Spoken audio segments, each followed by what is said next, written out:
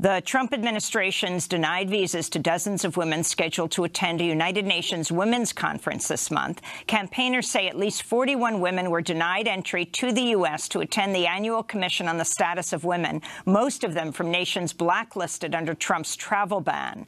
The move is an apparent violation of a 70-year-old treaty which obligates the U.S. to allow entry to people attending the United Nations headquarters in New York City.